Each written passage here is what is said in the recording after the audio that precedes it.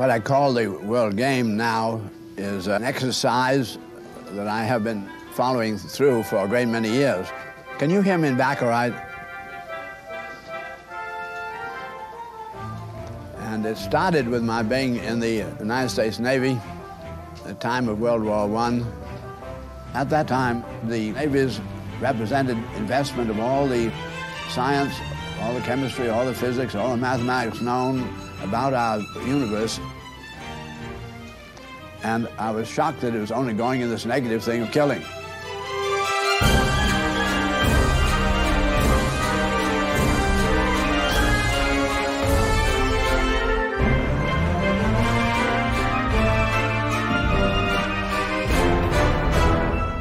We had this extraordinary technology. Men were not doing anything with that kind of accuracy on the land in relation to trying to make man a success.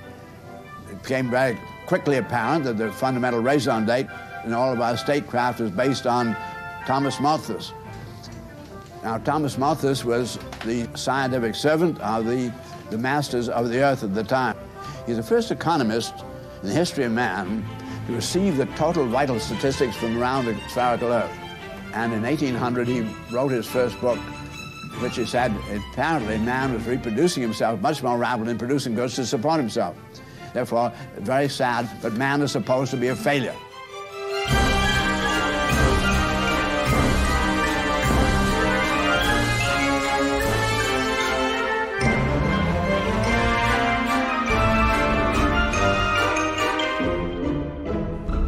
Shall we inform the whole world, the whole world at that time being more than 90% illiterate and unable to then even read any information that was sent to them?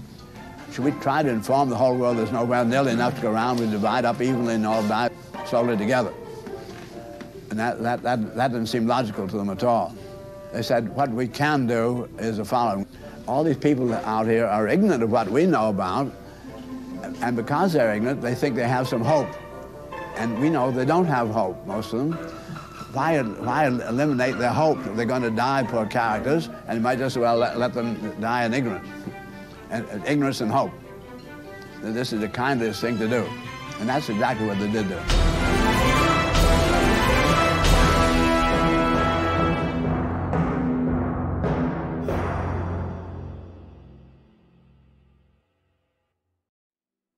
So can I get anything before we get started? I think I'm good. All right, feel free to take a seat. How are we doing on tech? Almost there. All right, well let's let's go ahead and roll for basic info, and we'll uh, we'll just we'll tweak it as we go. Sound? Speed. And rolling. All right. So please go ahead and introduce yourself and state your work. My name is Malikan Soyinka, and I'm a professor of history at Columbia University.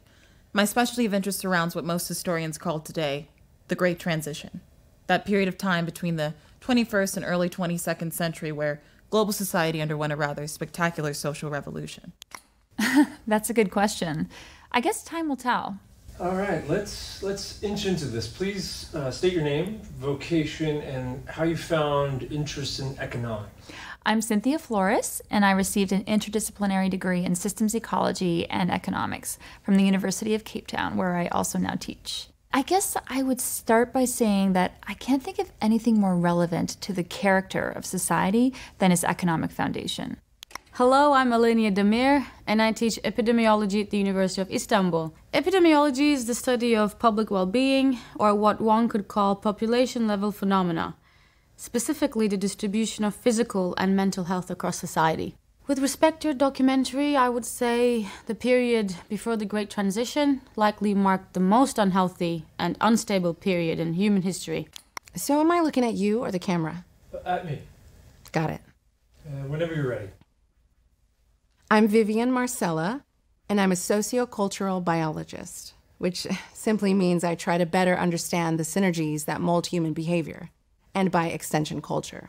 I joined the Center for Behavioral Studies in Oslo in 2115, and I continue to try to make sense of this lovable mess we call humanity.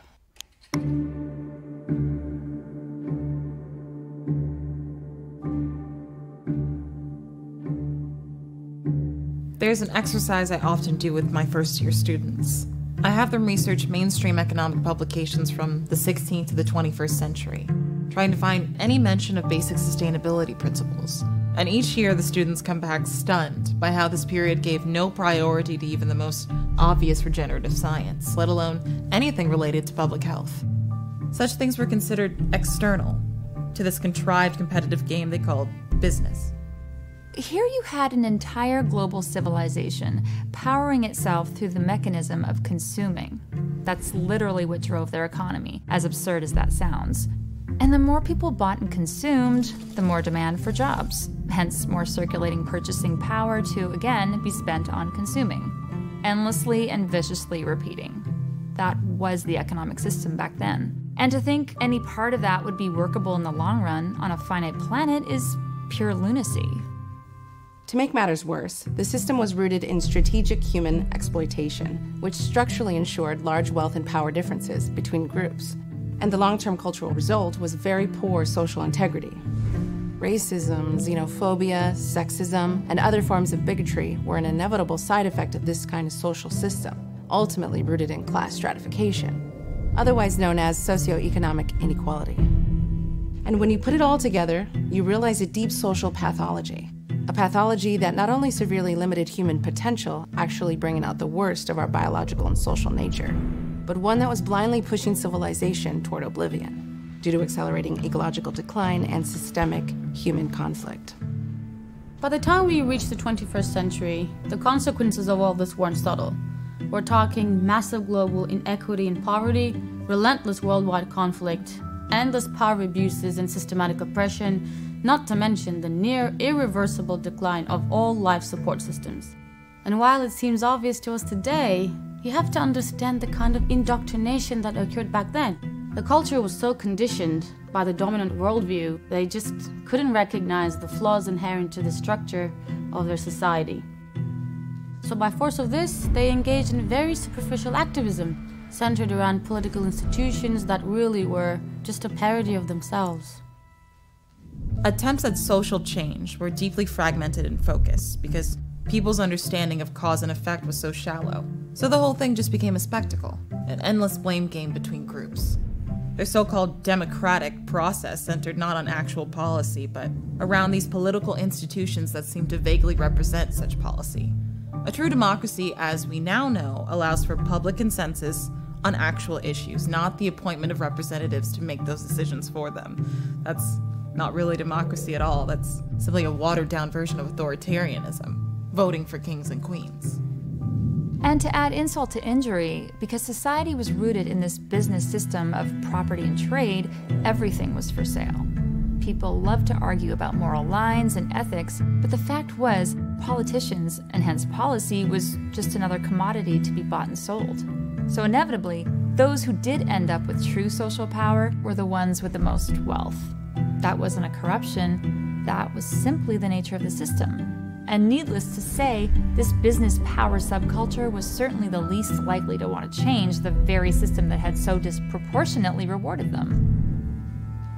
And as science and technology increased efficiency, creating higher material standards of living in general, the lack of human rights progress and the anti democratic nature of society became increasingly masked. People's dignity and integrity were bought off by gadgets and toys and addictions, feeding a materialist fetish that so distracted the minds of many. And you know, I often ponder all this, trying to put myself in the shoes of the average person back then, especially in the more affluent and highly unequal regions, such as the United States of America. And it really makes me shudder. People stuck in traffic, piling into these office prisons to push paper around, engaging meaningless occupations that wasted far more energy and wealth than they created, so they can continue buying these things they don't need, elevating their artificial status, and so on. It's like a bad horror movie. If there's any historical through line that reveals how important a system based worldview is, both in understanding society and knowing how to change it, it's the long history of slavery and human exploitation. You can't have a society that's based upon hierarchical power and specialized labor, where people are seen as economic tools to be used strategically for another's differential gain. and ever expect high moral integrity. Consider the function of cost efficiency. Cost efficiency is about trying to save money on production in order to maximize profit upon final sale. It's at the core of the basic gaming strategy that's required in market economics. And that simple incentive, the principle of seeking to reduce input costs to maximize output gains, is at the root of thousands of years of human slavery in one form or another. Whether indentured servitude, bonded labor, chattel slavery in earlier times, to human trafficking and debt driven wage slavery in more modern times. And the point to make here is that this kind of framework was so normalized by the turn of the 21st century a period, by the way, that had more slaves in absolute numbers than any time in human history. The average person still didn't see the connection. They had been conditioned by these mythical free market ideas, arguing that because people could now choose which area of the economy to submit their labor to, choose which company to be subordinated, or perhaps get the capital and start their own company, and then choose who to exploit for their own personal advantage. Somehow coercion just no longer existed. That was the illusion.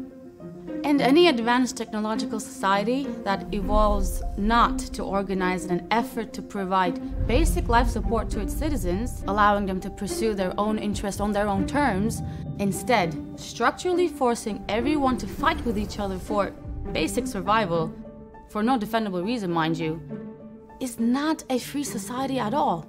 It's a system of violence and oppression, regardless of how materially wealthy that society may appear. So you wrote a book called The Neolithic Maladaptation, which focuses on the nature of culture before the Great Transition. Can you clarify what you meant by this title? Sure. So, I think the defining question of civilization is what characteristics enable us to survive and prosper sustainably and peacefully over generational time. Thousands of years ago, upon the advent of agriculture, the Neolithic Revolution, we found ourselves in a new social arrangement, a new structure, one that would later prove to be highly incompatible. Not only incompatible with the habitat, inherently unsustainable since the economy literally required consumption and growth, but also incompatible with our very social nature. And long story short, humans are simply not meant to exist in an economically stratified society. If the expectation is high levels of public health and peaceful coexistence. It's always interesting to review the work of mainstream scientists at the turn of the 21st century, as they desperately try to convince themselves that a competitive, exploitative, vainly status seeking mindset was an inalterable expression of human nature. When the fact is, our genes, our biology, and how the environment interacts with our evolved selves allows for vast range of orientations with narrow self interest, greed, merely part of that range. If we've proven to be anything, it's adaptable. There's certainly no blank slate. We're not infinitely malleable. But it has been grossly underestimated historically just how wide our range of adaptive potential really is. And what most determines which behavioral traits will define a society's culture is its social structure. Or more specifically, that structure's economic basis, the method by which we must survive. If that structure rewards competition, dominance, and narrow self interest, then the culture will predominantly express those values. If it rewards collaboration, empathy, and pro social concern, the resulting culture will predominantly express those values. For the majority of human history, before the advent of agriculture, we lived in non hierarchical, non competitive social arrangements. Why? Because the economic basis of survival actually incentivized sharing, and collaboration, and not the opposite. So, what I mean by maladaptation is while humanity did successfully adapt to the survival requisites born from the Neolithic Revolution, the resulting social structure, the system that became codified, proved maladapted. The economic system was simply incompatible with what was required for humanity to be sustainable in the long term, failing our need to integrate properly with the ecosystem, while limiting our ability to coexist peacefully with each other. And by the time of the Industrial Revolution in the 19th century, these flaws were rapidly coming to the surface. Conditions had changed. And if it wasn't for our dramatic transformation to break out of that system, there is little question. Society would have seen total ecological collapse combined with catastrophic global war. So it must be difficult to look back at that time, given what we know now. It seems like things should have changed much sooner, right? Sure. But it reveals that as much as we'd like to believe we're rational, objective beings, we're actually bound by deep social vulnerability. We are social beings first, and intellectual beings second. What you see back then is a kind of mass hypnosis that paralyzed society, keeping people short sighted and fearful, prone to conform to the values and practices of those who happen to be winning in the contrived economic game. One glance at the media from back then gives it all away. Status posturing, people obsessed with appearing affluent, accomplished, loved, famous, beautiful, all a kind of pathological emulation of those of high socioeconomic status billionaires, celebrities. As one notable philosopher stated long ago, it is no measure of health to be well adjusted to a profoundly sick society. So, once again, it all begs the question what actually defines success in the human condition? What kind of culture is most optimized to sustain itself over time, while of course being happy and stable? And while there's plenty to learn, we do know what doesn't define it. The excessive, materialistic wealth and status driven neurosis, so characteristic back then, has literally zero positive relationship to long term species sustainability and optimized public health. In short, the values were dead wrong. And not to sound mean, but if I were to resort to derisive status labeling common to that period of time, there's no question that the greatest failures were the ones who owned mansions, drove overpriced cars, wore luxury jewelry, maintained extremely lucrative yet completely meaningless occupations, while hoarding great wealth. What kind of sad, insecure creature needs to flaunt such excess? Clearly signaling opposition to other people's well being. True success is reinforcing harmony, balance. The goal is not necessarily to become something, but to find out who and what you truly are, and how you fit inside the ecosystem of nature that gave birth to you. The most successful people, the true winners, are never the ones striving for celebrity and material excess.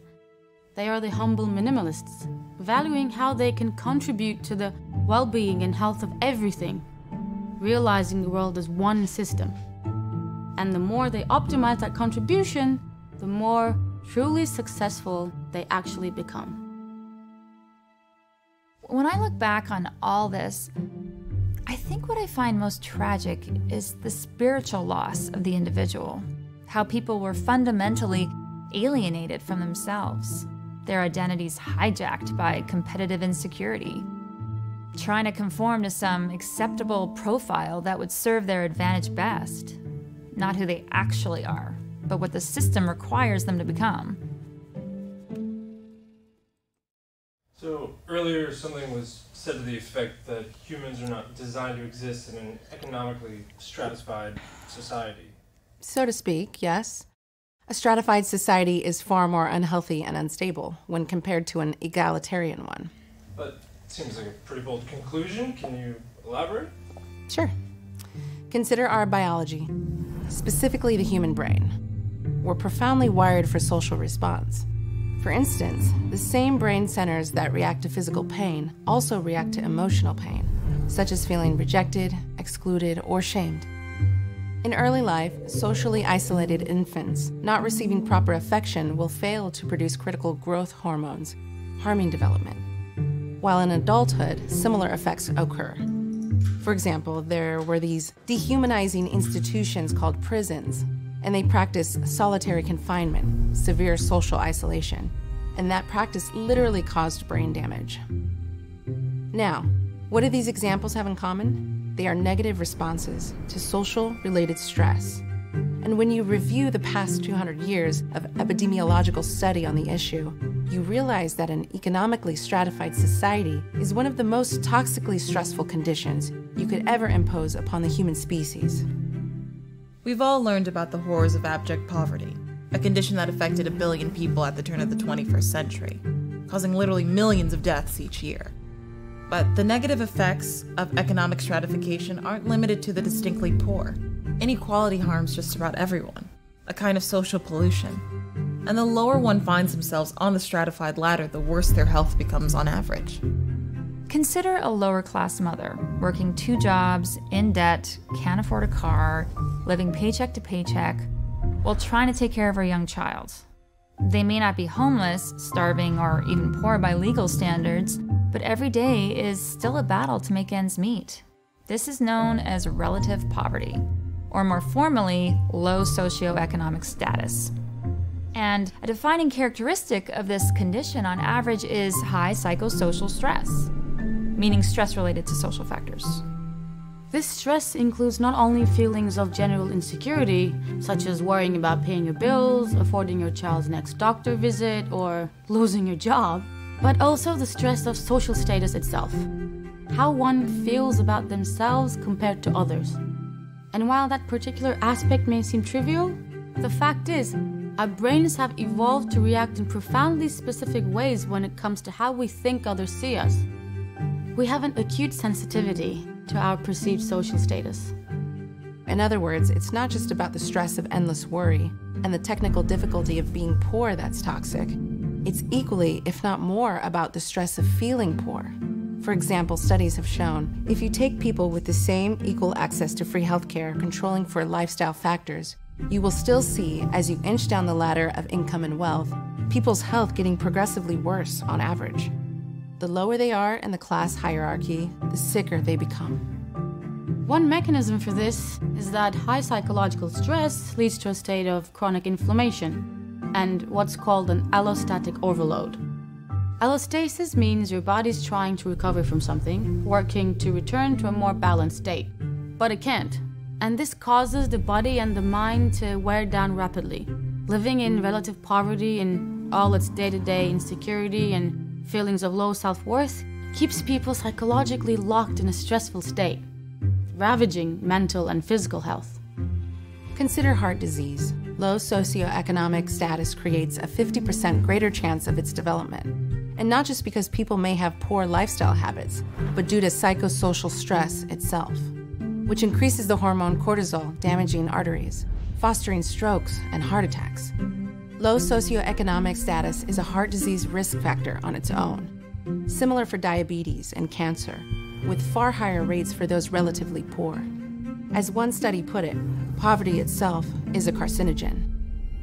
And given that heart disease, diabetes, and cancer were some of the leading causes of death in that highly unequal global society of the early 21st century, these facts help explain why lifespan gaps between the rich and the poor were shockingly wide ranging from 15 to 40 years depending on region. And then you have mental health. Low socioeconomic status fuels much higher instances of depression, anxiety disorders, schizophrenia, suicide, not to mention violence, including child abuse. The condition of poverty was found to be the leading predictor of child abuse, which is particularly troubling since such abuse often leads to adult disorders such as addictions, antisocial behavior, immune system problems, cognitive impairment. In fact, it was found that children simply living in the condition of poverty correlated to large decreases in IQ, decreased brain development, and worse overall health throughout the life cycle. Personally, I would argue that if child abuse is about negligence and harm, any society that tolerates the existence of poverty, when it has the means to end it, is a society that is fundamentally abusive to children. Now, as far as behavioral violence in general, it's no surprise the pre transition period was saturated in it. The emotional pathogen behind most acts of violence is shame, and inequality produces shame like a finely tuned machine. Shootings, gang violence, terrorism, domestic violence, all highly correlated to inequality, like a toxic cloud hovering over civilization. The more economically unequal a society, the more violent it tended to be on average. And that goes for most everything in terms of negative public health outcomes with higher incidences of disease, crime, obesity, infant mortality, homicides, teen birth, mental illness, poor education, conflict, domestic abuse, illiteracy, suicide, premature mortality, overall mistrust, and much more. There is no viable defense of its existence on any level, and it's certainly not representative of a fixed human nature. Humans are basically allergic to socioeconomic stratification. In the end, It wasn't the so called communist, socialist, anarchist, or whatever counterculture group that posed the most serious argument for the Great Transition. It was the environmental scientists. One can debate the ins and outs of morality, public health, and human rights. But if the habitat goes, all that becomes moot. And at the turn of the 21st century, our ecological negligence was pretty embarrassing. With great inefficiency, we were using far more resources each year than the planet produced, had destroyed vast realms of biodiversity, polluted the air, the soil, the water, not only destabilizing the entire global ecosystem, but by extension, society itself.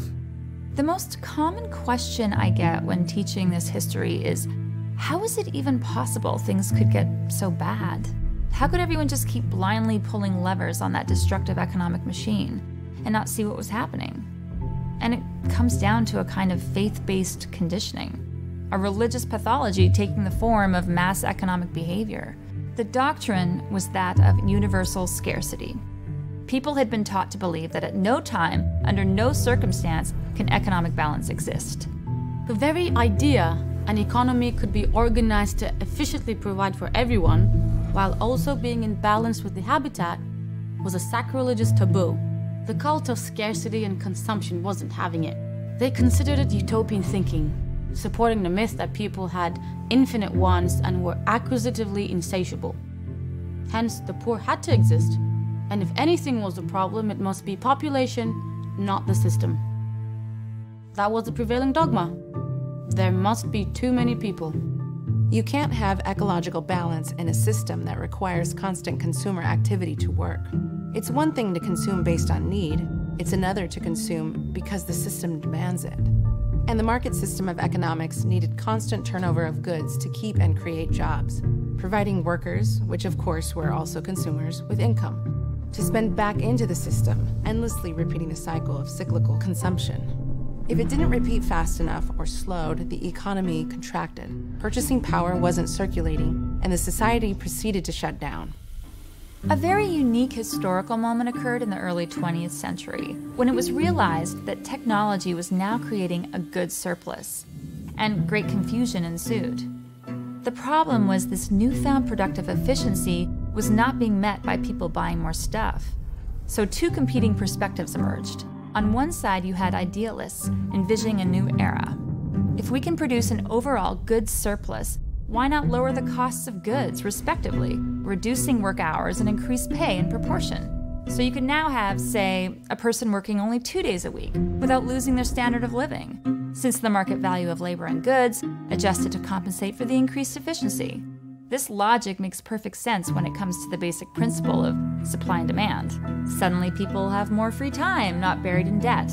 They can enrich their social life, family life, and pursue the things that have true meaning. Well, that's not the way it played out, nor would it ever. Which brings us to the system level perspective, since the system itself simply isn't designed inherently for a steady state equilibrium market economics is predicated on a more is better ethic. To be competitive in the quest for market share, that's what's incentivized. More growth, more sales, more employees, more capital accumulation, more profit, constant expansion. So, what happened was to be expected fortifying a new industry, commercial advertising. What was once a simple media service notifying people of new goods they may need turned into a powerful form of manipulative propaganda. In the later stages, companies spent more money on advertising than they did on research and development. What advertising does is abuse our social nature by making people feel like they're missing out. They're not good enough without this, they're lower in status without that. They feel excluded from others if they don't own something. And as pathetic as all that sounds, it had a profound effect on society, with everyone keeping up with the Joneses, and a hideous feedback loop. And the result, as industrial productivity still continued to rise, people worked more than ever, had less free time, were in staggering amounts of debt, and arguably had a lower standard of living when you actually account for human happiness and the level of stress people endured, all to keep the economic machine moving. One thing that's really interesting in all this is that the economic system back then embraced a fantastic paradox. So here you had a model that defended itself by the assumption of universal scarcity, forcing competition, oppression, exploitation, poverty, and so on. While at the same time, the entire machine needed infinite consumption to work. Think about that for a moment. How do you justify these harsh outcomes of assumed scarcity when the system itself disregards the idea entirely when it comes to the very mechanics that make it work? And the bottom line is, this wasn't an economy at all, by definition. It was an anti economy, with human beings functioning like cancer cells, eating the earth alive. In systems theory, this is known as a positive feedback loop. Don't let that word positive confuse you, as there's nothing positive about it. It means there's nothing working to balance system behavior to its regulatory environment. That environment, in the case of economics, is a finite planet with a delicate ecosystem. If respect for scarcity was taken seriously, the goal would be to focus on efficiency, working to reduce resource use, reduce waste in the process of meeting human needs. Manifesting, of course, a culture that's mature enough to understand the boundaries of its own existence. Truly positive economic metrics are the opposite of what was sought back then. Degrowth, so to speak, would be the goal. Doing more with less and needing less. People would go on TV to give an economic report and say something like, Great metrics for the economy this month. We reduced our use of energy and raw materials by another 3%, lowering sales once again with less need for human employment, increasing overall efficiency by a factor of two. We continue to be in homeostatic balance with the planet for yet another year, and humanity has more free time than ever. Here's Tom with the weather. Well, it's clear skies across the hemispheres. The Amazon rainforest isn't on fire. We aren't clogging the atmosphere with CO2, and we haven't seen swarms of refugees cascading across continents in search of food for some time. And the fog of billionaire douchebaggery seems to have cleared a bit. We do expect some precipitation, adding to our already abundant fresh water supply, further improving topsoil, while global abundance measures has everyone sitting pretty for the foreseeable future. Yeah, you would never hear anything like that. Instead, the opposite. Some dickhead PhD Ivy League market economist religious fanatic who literally has no clue what the word economy even means would come on and say, Quarterly earnings were down last month in most sectors as GDP slows.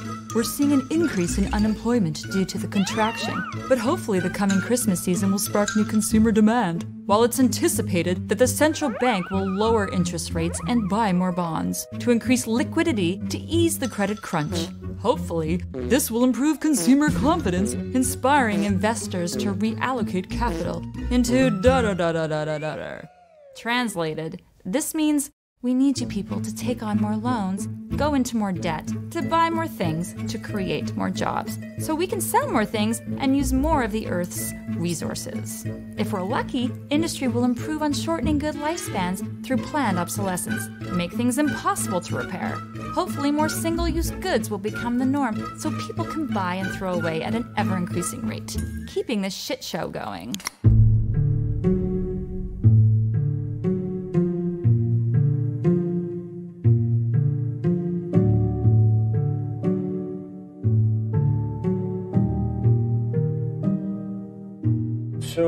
To shift gears here a bit and ask you about your work in group identity, specifically how it relates to economic conditions. Well, like everything is complex. As we talked about earlier, our social nature can get the best of us, and we have some interesting evolutionary wiring when it comes to groups. Us and them, in groups and out groups, and perhaps what's most unique is what defines an us and what defines a them is subjective and culturally dependent. If you grow up only being exposed to people who look like you, and then you're exposed to those that don't, your brain tends to fire with apprehension. But the same thing also occurs with something even more trivial, like baseball caps. You show people who like a certain team photos of that team, and then throw in a photo of an opposing team member, the same thing occurs. So, for whatever evolutionary reason, we have a propensity to divide society up and make judgments. And there is no value in it whatsoever, it's just dangerous baggage. And before the Great Transition, because the economy was fundamentally divisive due to its competitive nature, bigotry and group oppression was a huge problem.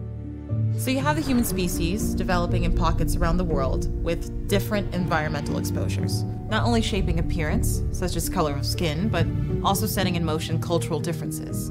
And as these groups began to mix, it got very messy. Which is why you see, especially by the 20th century, strong social movements by people trying to stop group oppression, at least on the legal and political level. The demand for gender, ethnic, sexual orientation, and creed equality was constant, with modest success given the fact society was still stuck in an economic mode based upon mutual exploitation, amplifying the tendency for group antagonism. But there was a side effect to all of this. Rather than seeking equality to neutralize the group identity problem, many chose to embrace it. They took what was an artificial construct imposed upon them and defined themselves by it. For example, someone descended from the African slave trade in America is only a black person via the construct of being called so.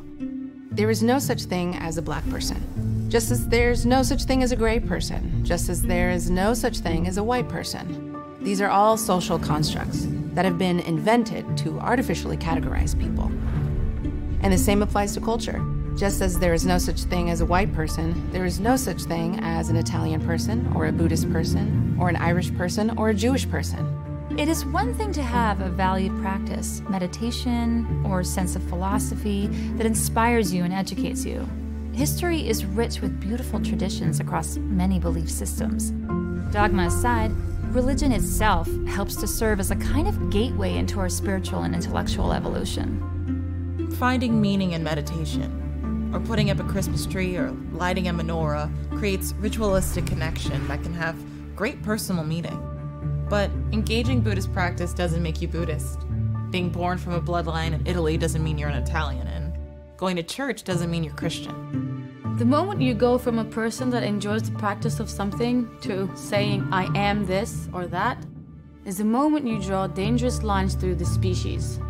Taking such pride in your ethnic, religious, or regional background creates an identity with the group by label, and it is fundamentally elitist and bigoted by nature. There is only one race, the human race, and within the confines of that fact, to separate yourself any further leads to absolutely nothing positive.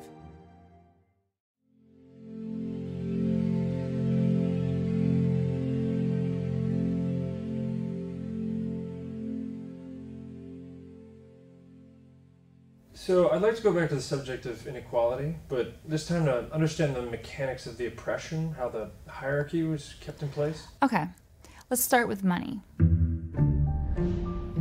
Money was the infrastructure of the market economy, and how it was created and moved around was instrumental to lower class oppression.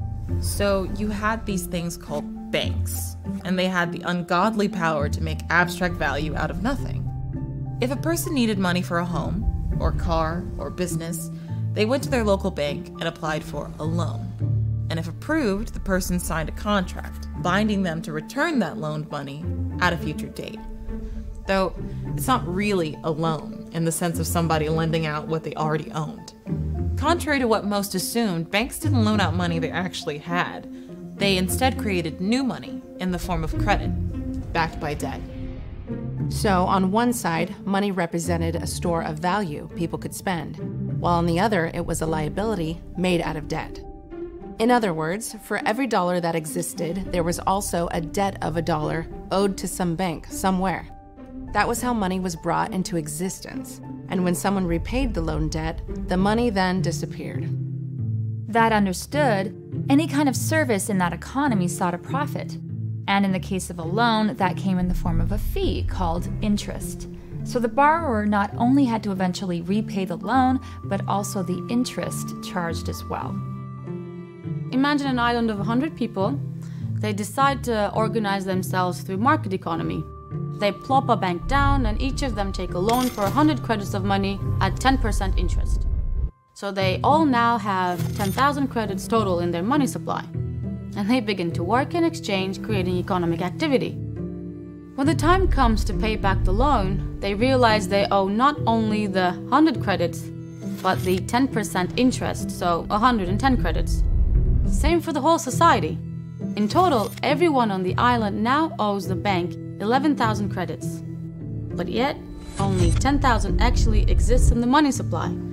There is now more debt owed than money in existence due to the interest charged. So, three things can happen. One, those short can take on more loans to temporarily cover the old ones, postponing the problem. Two, people could ramp up competitive trade, increasing economic activity to try to get enough from others to cover the debt, displacing the debt responsibility like a game of musical chairs. Or three, the bank comes in and takes real property to compensate for the outstanding debt, which is inevitably what happens somewhere down the line anyway. Wait, that, that can't be right. That would just be a system of organized theft. Yes, banks were vehicles of creation on one side and a system of organized theft and class oppression on the other. But in a large, complex global society, one based on economic growth, money moves so rapidly it was very hard for the mechanics of this to be recognized, obscured by things like the boom and bust cycle, monetary expansion and contraction. Please continue. So back to our island again. But this time, for the sake of simplicity, let's remove the interest fee from the equation and focus only on the outcomes of competitive trade itself. So the 10,000 credits of money has been moving around through trade, labor, investment, starting businesses, hiring employees, and as is inevitable to the game, some businesses will outperform, winning disproportionate income, while others will fall behind, losing income.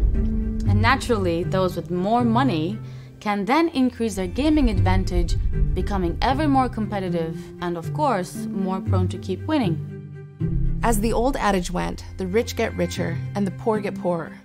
A small business with limited means simply can't compete with a larger one that can outperform them in the same service due to having more resources to work with. So, on our island, we see an inevitable point in time where, say, 10% of that population managed to acquire 90% of the island's wealth, while the other 90% of the population now has only 10%. By the way, this isn't some arbitrary assumption. This can be modeled mathematically. The dynamics of mass competitive trade in any society always moves toward disequilibrium. So back to my point. When you put this together, a displaced debt burden and the application of interest, you can begin to see the insidiousness.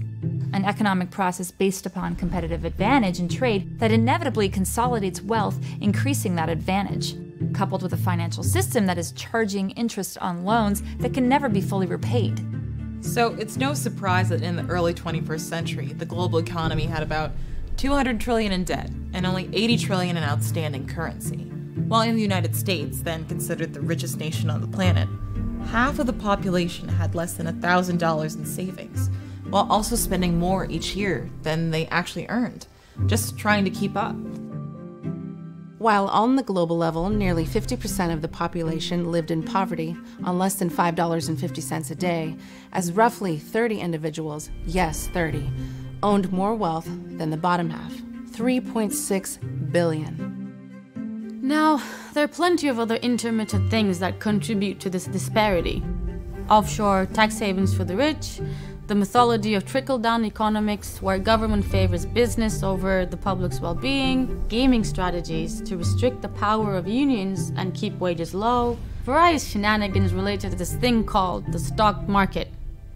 But the financial system and its use of debt is really the foundation of it all. Wow.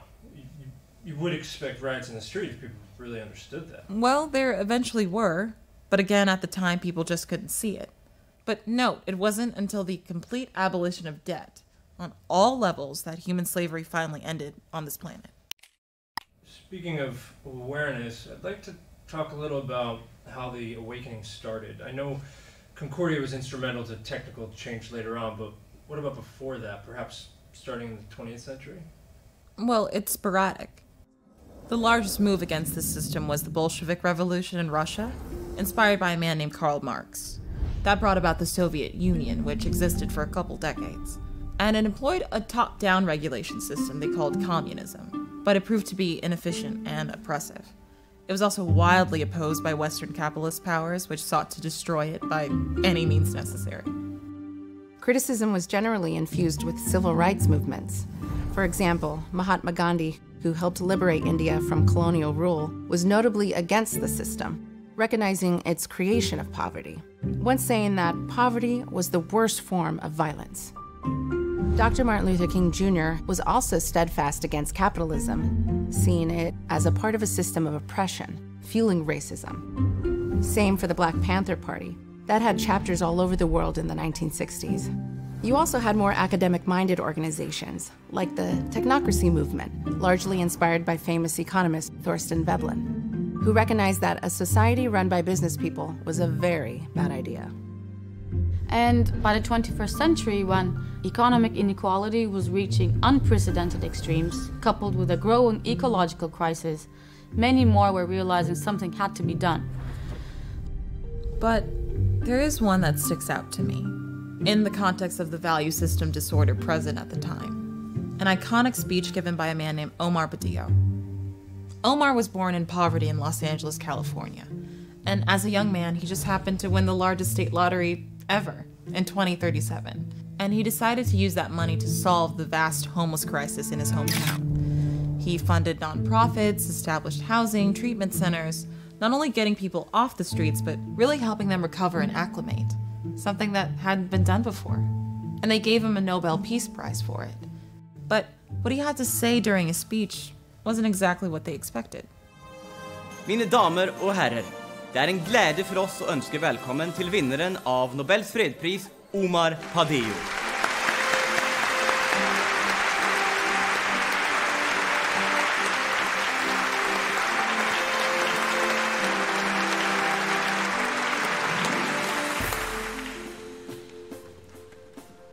Thank you.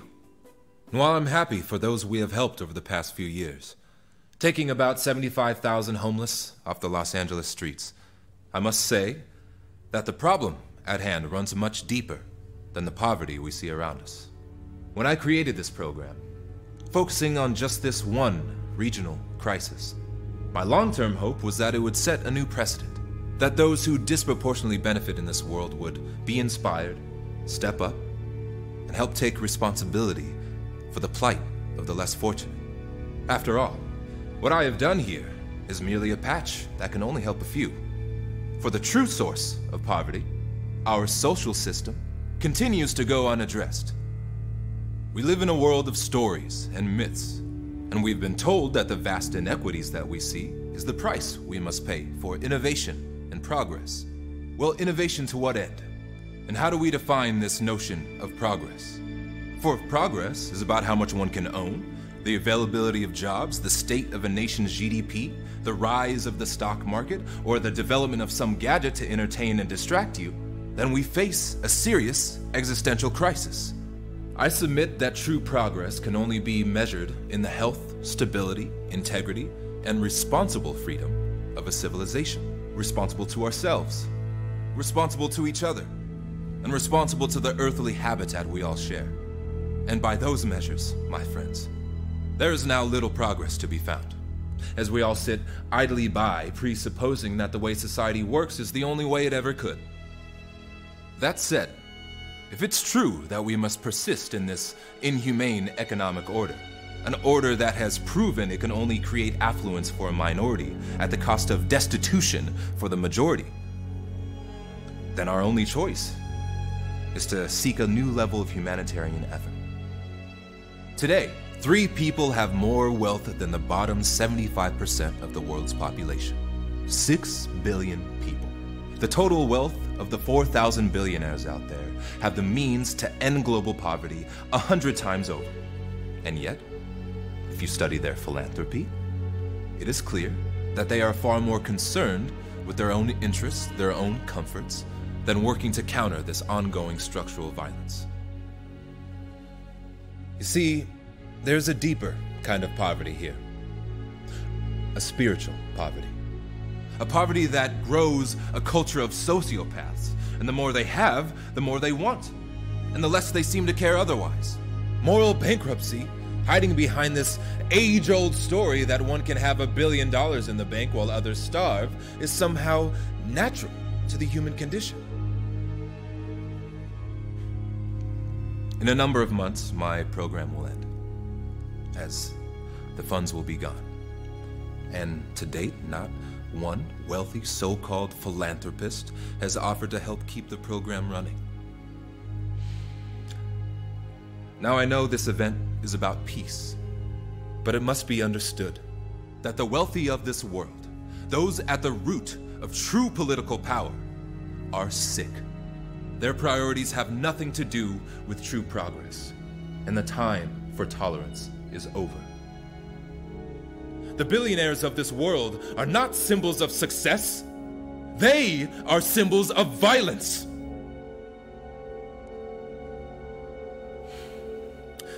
And until that violence ends, there will be no peace on this planet.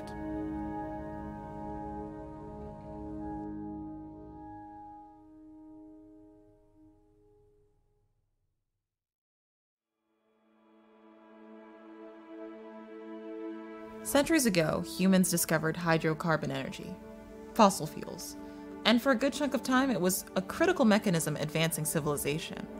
But after a while, it became obvious that its continued use posed insurmountable repercussions, damaging the environment. So we eventually had to stop using it completely, figuring out other means. And this is a good analogy as to why we also needed to transcend that social system.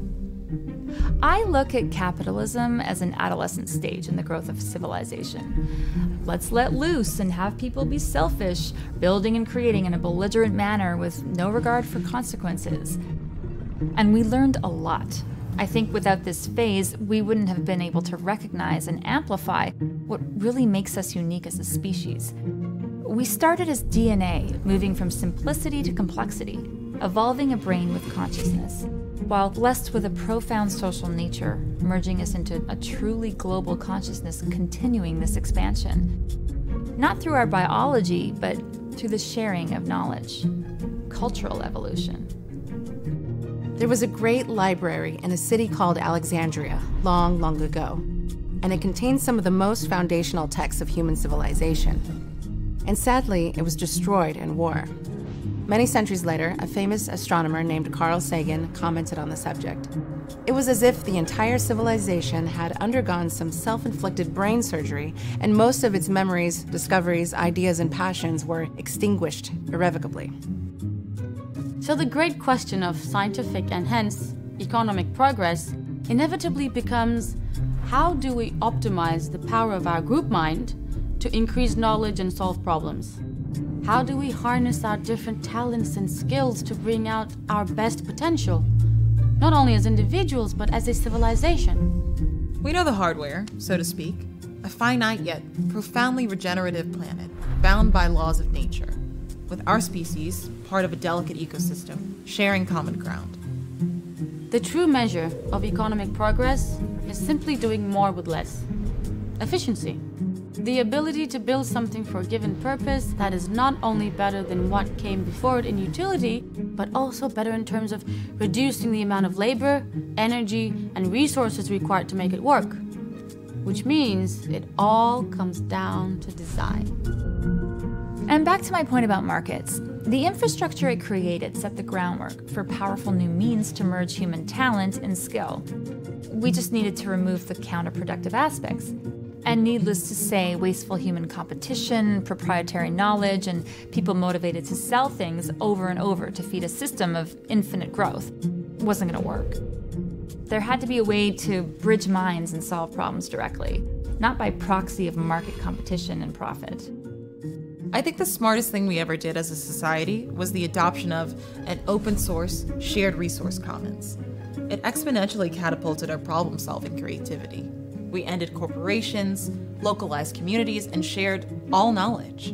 In fact, if it wasn't for that move, I really don't think we would have solved the climate crisis and all the other ecological and social problems we faced before the Great Transition. I still stand in awe today at the stunningly productive collective design processes we created, where status is driven not by differential competition for gain, but by the degree of your contribution how dedicated you are to problem solving and creation, working to improve the fabric of society itself. We also realized the true purpose of a means of production based upon automated technology. not as some brute industrial mechanism to produce an endless stream of arbitrary goods, but as a way to free ourselves from uncreative labor, not to mention improving efficiency and safety. And one final evolution worth noting was the removal of the price system. People stuck these numbers on everything that suggested some kind of earthly value.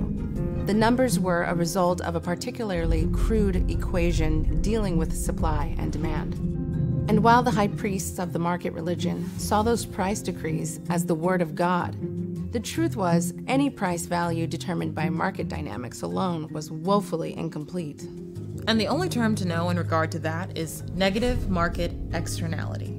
These are cost values, unaccounted for by the market price equation related to damage done by industry. For example, in the early 21st century, the running price of hydrocarbon energy was in a particular range, but yet there was actually an additional $5.3 trillion in cost every year as people worked to clean up the damage the use of hydrocarbons was doing to the planet.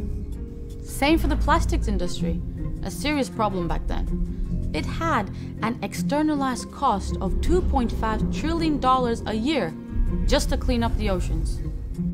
In fact, if you went back and did the accounting for global industry as a whole, factoring in these negative market externalities, again, these costs not reflected in the set prices, you would find that no company on the planet was actually even profitable. So, of course, today we have a very different system of accounting. We know almost exactly what's happening or could happen in downstream effects, and we improve our total system efficiency every single year because of it. It's a true economy, in other words. And all of this creates a very different social atmosphere. Today, our incentives are aligned. No one cuts corners, there's no reason to. No one's trying to improve some bottom line by disregarding our ecological stewardship or the well being of others. We finally got it right. And I compare the footage of the way people behaved back then to the way they do now with an astounding amount of pride and community, meaning and purpose. They don't feel alone. They know they have support, not just from their friends and family, but from the very design of the social system itself. A system designed to actually care. Imagine that. So I'm afraid we're going to have to wrap this up for now, but as, as we discussed, I will be back for the second part of this interview fairly soon, uh, specifically to discuss the colony of Concordia and their historical influence. Sure. So, what's the name of the documentary? Interreflections. Interesting. But before we end, I, I had a rather strange request. If you could address those vulnerable or confused souls, you know, before the Great Transition, given as you put it earlier, we barely made it at all, what would you say to them? Wow, that is a strange request. Hmm. I think I would paraphrase the words of a notable civil rights activist from the mid 20th century named Bayard Rustin. And he said, You are all one. And if you don't know it, you're gonna find out the hard way.